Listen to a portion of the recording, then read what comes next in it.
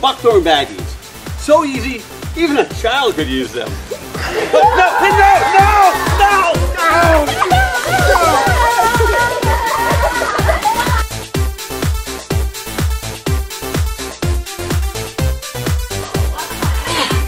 Okay, what do I do next?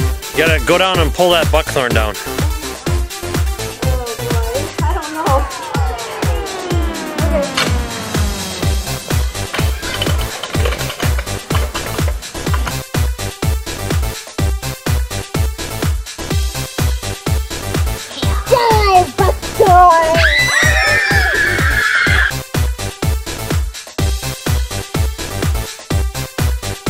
This here, Lainey, is the buckthorn that we're gonna cut.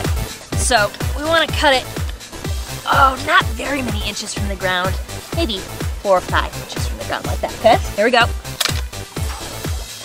Wanna get that out of here? Just throw it that way. And here's our bag. So the first thing we're gonna do with our baggie is roll the bottom over like that. That way when it's on the ground, it'll make a little saucer that'll collect water and twigs and things and hold it down.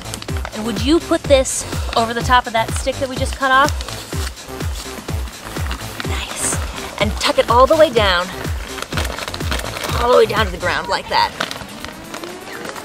This here's the zip tie. Okay, this is the fun part. Get to wrap it around, poke it through, and here, why don't you pull the end of that and tighten it up. That sounds satisfying. die, Buckthorn, die! A baggie, a, a, a lopper, a, a, uh, a tie, and a buckthorn baggie. Easiest child's play. Like that?